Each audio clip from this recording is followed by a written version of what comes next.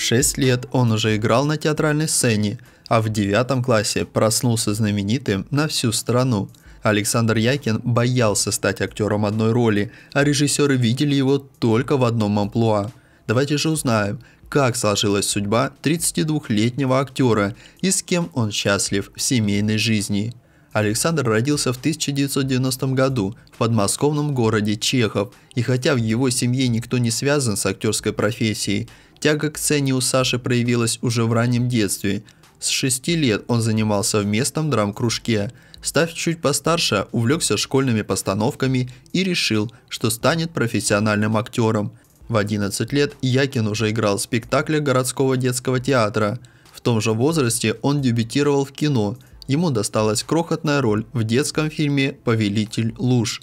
В 2005 году 14-летний Якин сыграл главного героя в драме «Парниковый эффект», а через год юный актер проснулся знаменитым. На экраны вышел ситком «Счастливы вместе». Саша получил одну из главных ролей. Он играл школьника Рому Букина.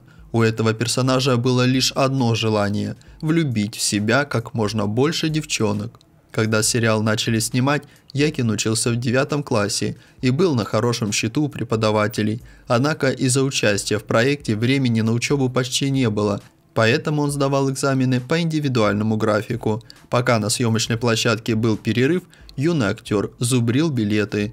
После окончания школы в 2007 году Якин поступил в ГИТИС на актерский факультет и учился на курсе у Владимира Андреева – Параллельно он по-прежнему снимался в «Счастливы вместе».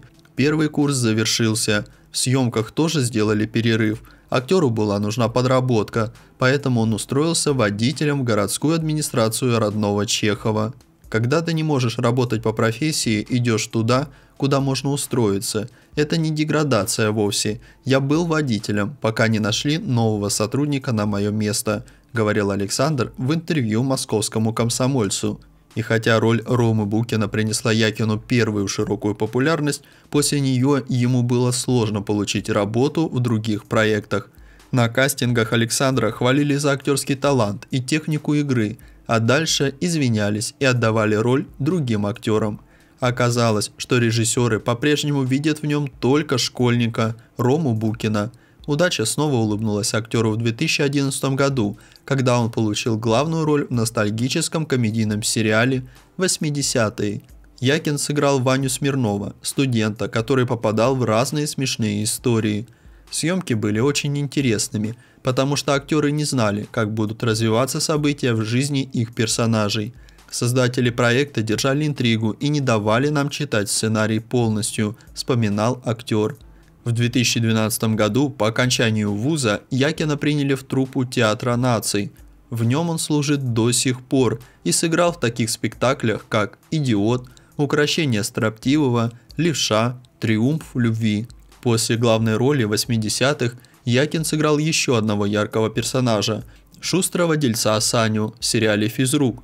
В этом проекте он снимался вместе с Дмитрием Нагиевым и Виктором Сухоруковым – Поначалу сильно переживал, но именитые актеры вовсе не давили своим статусом, а помогали молодому артисту.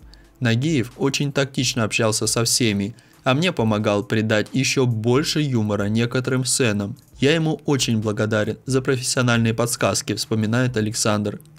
Героям Якина не везло в личной жизни, в отличие от самого актера. Еще в студенчестве он познакомился с Анной Зайцевой, которая тоже училась на актерском факультете – с тех пор пара не расставалась, а летом 2016 года поженились.